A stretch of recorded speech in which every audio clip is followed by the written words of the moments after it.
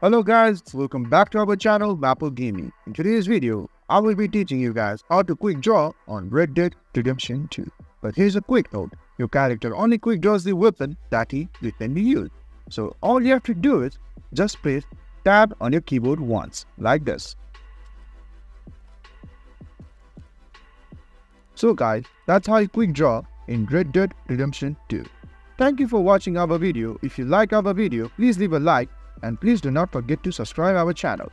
Also hit the bell icon to get updates with our latest videos and drop a comment for reviews and more content like this. I will see you guys again in our next video. Thank you for watching.